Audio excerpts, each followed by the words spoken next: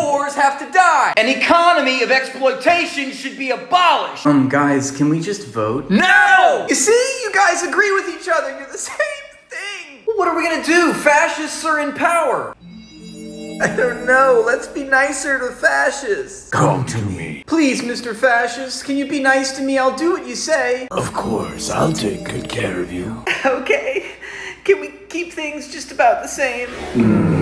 Decentrists always side with fascists because fascists don't threaten capital. Capitalism is human nature. An economy without morals should not exist. You don't understand economics. And you don't understand democracy. Bro, this is Econ 101. Justifying capitalism by explaining capitalist economics is not a justification. We will continue to exploit you. We are coming for your capital. If you go far enough left, you end up on the right.